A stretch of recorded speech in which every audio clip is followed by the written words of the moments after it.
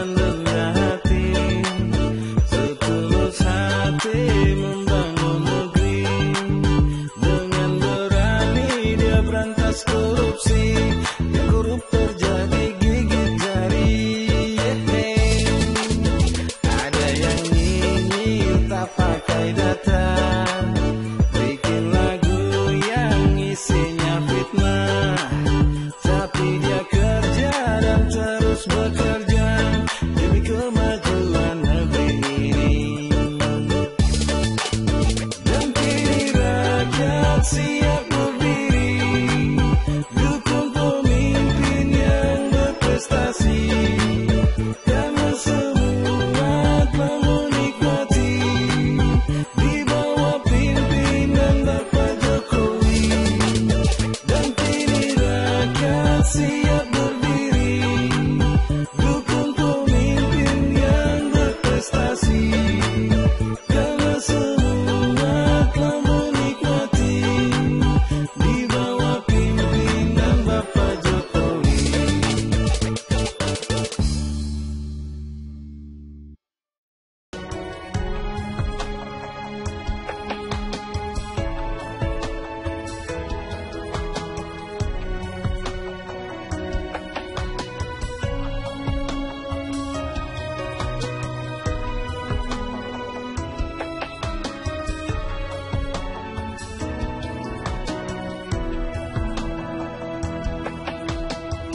Bersih, jujur dan merakyat. Berbuat demi masa depan kami. Sosok pemimpin tegas pemberani